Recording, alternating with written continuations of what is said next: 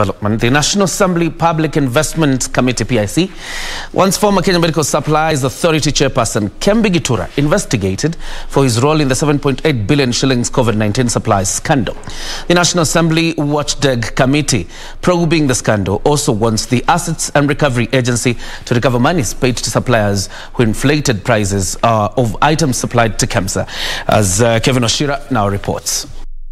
Almost one year after the impropriety in the acquisition of 7.8 billion shilling COVID-19 equipment, the National Assembly Public Investment Committee has tabled its report. The Watchdog Committee wants the EACC to investigate the KEMSA board on the role it played during the procurement of the COVID-19 items. MPs want the anti-graft body to probe the alleged interference by former chairperson Kembi Getura and former board member Joel Gesuka on the award of commitment letters to two suppliers. We should not allow uh, payments, uh, first of all, for those who have not been paid, and even those who have been paid. These figures will now have to be uh, relooked at. And we have all the evidence we've provided, everything in the report, which the EACC can be able to use and the DPP can be able to use.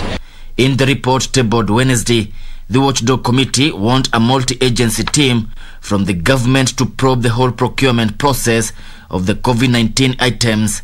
The report further implicates KEMSA's suspended CEO, Jonah Manjari, for signing commitment letters, an instrument not recognized in law, the Director of Procurement Charles Juma and Director of Finance Waiganjo Karanja for illegalities in awarding and payment of tenders. There was the, um, we also took the responses from the presidential force uh, team that had been put into place, you remember, uh, regarding the COVID matters. So we looked at them, and um, this country can be able, if this report is going to be approved, this country can be able to save uh, billions of shillings, and we don't necessarily have to lose. Kevin Washira, Prime Edition.